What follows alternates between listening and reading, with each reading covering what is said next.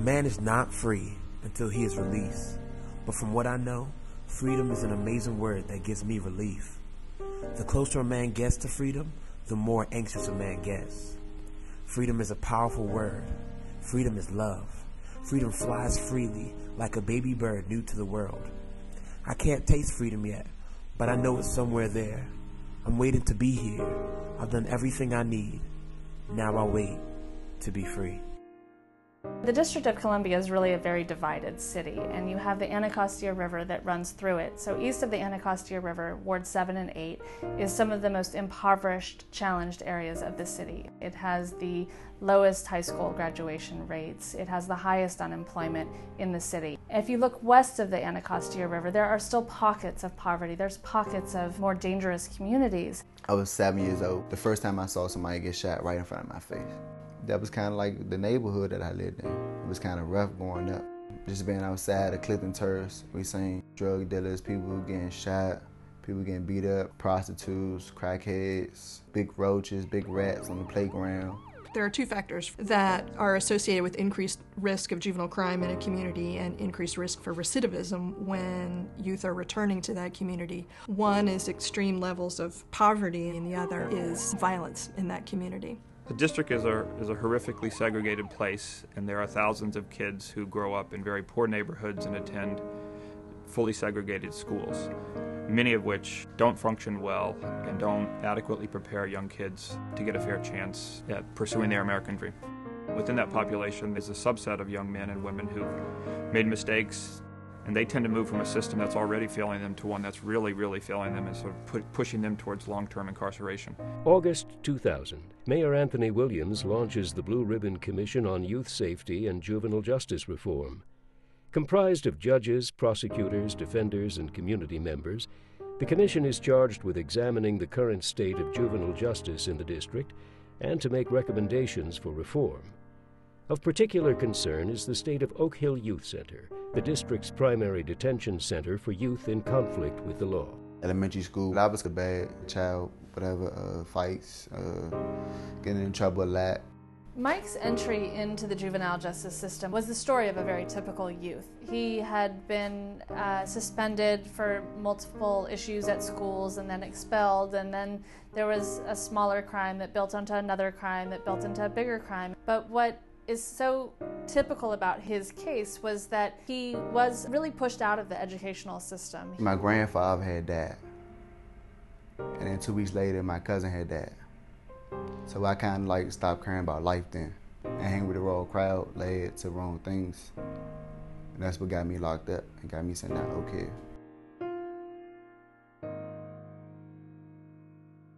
For many young men, going to Oak Hill Youth Center was a rite of passage. All of their older siblings, their older brothers had been through there. Their fathers had been there. Generations of families had been through Oak Hill. Built in 1967, Oak Hill Youth Center, located in Laurel, Maryland, was used to house the district's pretrial and committed youth. Youth committed to Oak Hill in 2004 stayed an average of 79 days. It was dead time in their lives. It was a time when we pulled them out of their family environments. We pulled them out of their educational systems. We pulled them out of the city entirely. And when they went into Oak Hill, they really gained nothing. The place was a revolving door for kids, so kids would come in and out and in and out and in and out.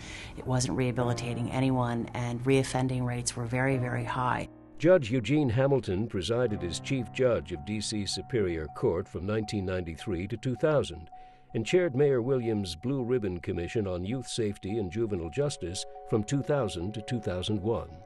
In most instances, children who went to Oak Hill came out uh, worse than they were when they went in. If you walked into Oak Hill, everything was dirty, everything was dark. There was a sort of smell about the place because it was never clean. It could almost not be cleaned. Dirty means like like being in the hood for real. You had roaches, you seen crickets in the unit, you seen rats run across your feet. When I was detained in uh, 96, I was then sent to Oak Hill. Um, the all-girl facility that's here was here at Oak Hill grounds. And I was there for a year. There was a 24-hour holding room at Oak Hill when I was there. And it was supposed to only be for 24 hours, but it was so dirty. I ended up asking one of the staff, Do you have some bleach? And I cleaned the 24 hour room so well that they kept me there for at least three months. The school, the old Oak Hill, was run down, 30 years old. The windows were yellow and broken. Walls were creaky, air conditioning worked sometimes, heat worked irregularly. Less than 50% of the kids came to school at any given time. When they were going to school, there was little engagement from the teachers.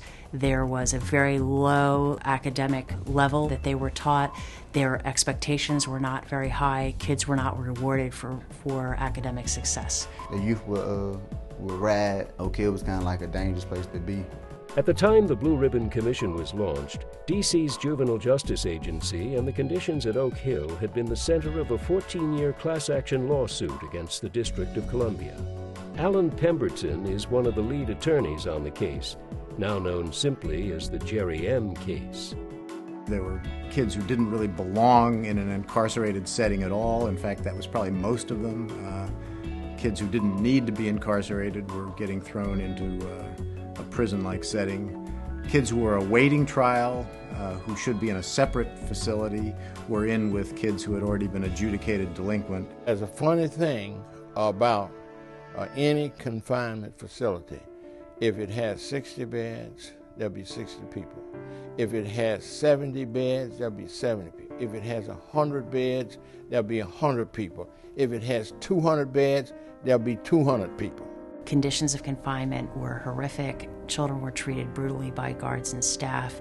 There were reports of uh, kids using drugs. Sometimes parents will bring kids drugs easily, and sometimes staff will bring kids drugs. There had been some very uh, terrible uh, kinds of uh, instances of sexual abuse, both staff on uh, kids and then uh, kids on kids, because the housing units were un- essentially unsecured at night, uh, very poorly supervised. There were a lot of illegal activities going on there. Staff locked kids in their cells for long periods of time. Kids routinely urinated in their cells because they were not allowed out. And the problem with Oak Hill was that the approach of the staff was very uh, correctional.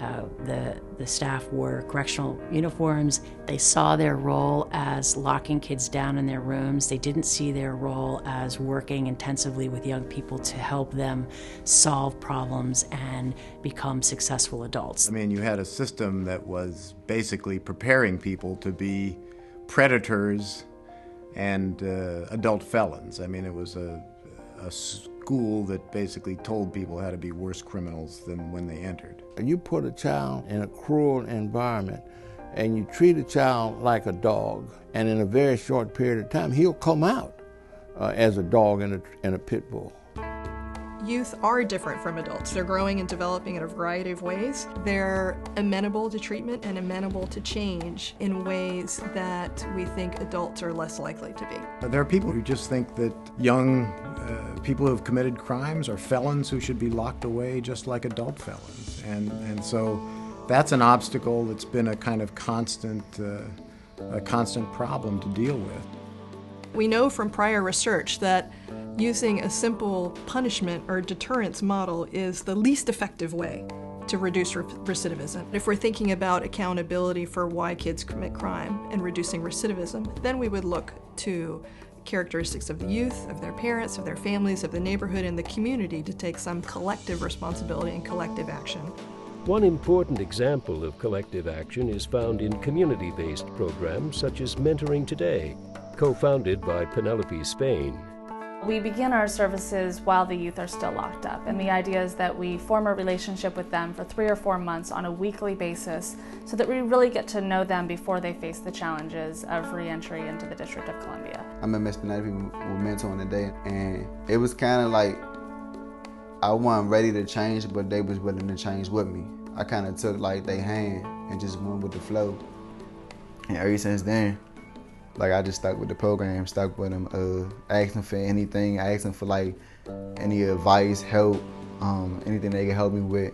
I'm always, you know what I'm saying, I always call him Miss Penelope first. What he has done is recognized his own personal history, his own uh, involvement with the juvenile justice system, and he's turned that into a positive. If I didn't get involved in mentoring today, I'd have probably still been doing the same thing as far as getting locked back up, um, smoking weed, keep smoking weed, um, hang with the wrong crowd. We had to get rid of Oak Hill. Uh, that thing was turning out uh, uh, juvenile delinquents rather than uh, rehabilitating juvenile delinquents. The other recommendation was, was that as each child came into the system, uh, that child was given a, a thorough uh, examination, educationally, uh, emotionally, psychologically, physically, and otherwise. We realized that children uh, needed a continuum of treatment, not only in an institution in some instances, but back in the community. And when the DC Council didn't do anything with the recommendations, these residents organized. Hundreds of people around the city came to hearings, they made phone calls, they did letters, they had events all over the city for several years, and they were able to get the council to unanimously adopt comprehensive reform legislation to implement the Blue Ribbon Commission recommendations. In 2005, facing intense public pressure, the district took steps to implement the Blue Ribbon Commission's recommendations. The result was the new Department of Youth Rehabilitation Services, or DYRS, established to overhaul the juvenile justice system in the district. The top item on the agenda the construction of a new secure facility for court involved youth. Uh, it's got to be at least 40 years that people have been talking about closing Oak Hill. What New Beginnings really does is it takes away the penal approach to uh, juvenile incarceration. And so it's really a much more therapeutic place. The key fact about New Beginnings as opposed to the old Oak Hill is that it's a small institution. New Beginnings demonstrates what can be done. It's a very successful program. Lots of light, modern furniture, modern architecture, and it looks like a school, a place that kids feel that they're not just being warehoused. Another major difference is how the staff see their role. The staff see themselves as youth development specialists. Their role is to engage with the youth, to work with the youth, to help them learn how to problem solve, help them learn how to organize themselves to become productive adults. We have one of the most successful schools in juvenile corrections in the country. This school engages the young people, the, they have small classrooms, every kid must go to school five days a week. The school system was taken over by the See Forever Foundation, which established the Maya Angelou Public Charter School in the district in 1998 to help youth in the juvenile justice system gain responsibility and learn the skills they needed to succeed. The average kid improves his reading and math scores by almost 1.5 years on an annualized basis, almost three times the rate they had been improving their skills over the course of their educational experience prior to that. Many kids say that it's the first time they've had a decent school in their experience up to this point. For many of the young men, when they first get into New Beginnings, oftentimes they're fighting against the system and they just feel like they're just going to have to do their time and they can get out. And what they slowly come to realize is that they actually have to engage in their own treatment. They have a level system, so you can't leave until you achieve level six. Who decides whether they get to the next level? Not just the staff, but all of the kids. They get feedback from the other young people, and that kind of approach actually helps young people to do problem solving, decision making. They learn to work in a group, they learn to be a member of a team. All of those kinds of skill sets will then help those young people when they leave the facility become productive adults. The energy around here is so positive. We have our monthly award ceremonies. They have incentives where they earn stars.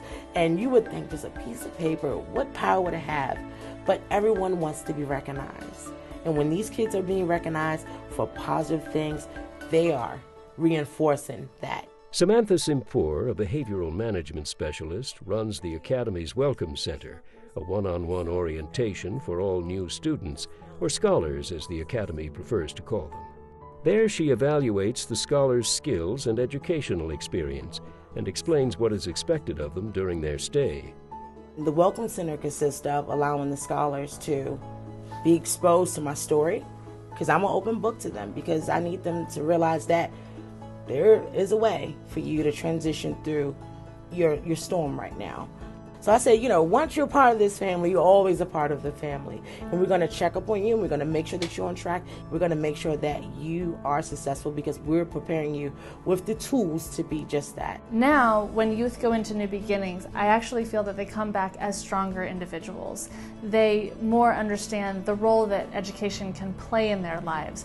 I've had some youth say that they never understood why they needed an education before they went to New Beginnings. We have kids going off to college do you hear me? College. Not DC, I'm talking about college. We have Maya Angelou scholars in college from New Beginnings. That's powerful. Here in this environment now at New Beginnings compared to the way Oak Hill was, huge transformation. Huge transformation. Like my first day coming inside of the place, I literally broke down and cried because I said, they're going to get it. They're going to get it. They're going to get what they need in the midst of their triumph. They're going to get it. And they're getting it. And they're getting it. They're getting it. They're getting the mental health. They're getting the counseling. You know, they're trying to reunify the families. My goal in life is to be a role model to my kid that's on the way. And that's it. I see Mike more than anything becoming a leader and stepping into a leadership role. Over the years at Mentoring Today, I've seen the tremendous growth that the juvenile justice system has made from the closing of Oak Hill Youth Center to the opening of New Beginnings. And I do really feel that we're starting a new chapter where our young people are seen as assets of our community and not just individuals who should be locked away. That being said, we still have a very long way to go. I'm optimistic on, on the one hand because I see what has been done, uh, but but I'm uh, a little bit troubled on the other hand because uh, you know one one or two bad cases sometimes uh, can can can have a tendency of threatening the existence of the whole system. I mean you can't judge a whole system uh, by one or two unfortunate uh, incidents. Juvenile offenses are down and I think that speaks for itself. The part that uh, has not been carried out is a seamless uh, transition back to the community with adequate, competent, community based prevention and treatment resources.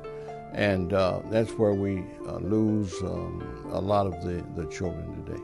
We do have too, too many young men who do well at the Maya Angelou Academy who leave us and go back to a system that isn't ready to support them. So they go back to large, poorly performing high schools that aren't really ready to help them continue to make the gains they've started to make while they were at New Beginnings. In October of 2009, DYRS launched a citywide network of community based service providers in order to provide committed youth with mentoring, community supervision, and job development, among other services. Progress has been made, but there is more to do to make this service coalition seamless, robust, and fully effective. We need to all take a leadership role because if we ignore their problems, their problems will become a matter of ours. We need these community based resources uh, to, to serve uh, children. Now, if we don't have those community based services to serve children, things are out of adjustment. These young people who we work with are capable of so much. What we really see also in, in Mike is an ability to give back to their community. They can give back to the very same juvenile justice system that they came from. So I think that's what they're most capable of is being positive role models and leaders in their own communities. This is a juvenile justice system. They, they don't, they're not going to be locked up for the rest of their lives. When they come back, we want them to be productive members of society. Education is key, just like it's key for you, for me, for everybody. It's, it's essential. And if they have the sense that they can achieve something with their brains and, and uh, by learning things, then that'll be good, good for society. And that's what we mean by youth building. And uh, uh, build youth uh, to be able to take care of themselves and take care of others and take care of the community. And, and it's not something that's done uh, overnight. Uh, it's something that, we, we have to work on continuously. You just need the will, some say the political will, and the determination to do it.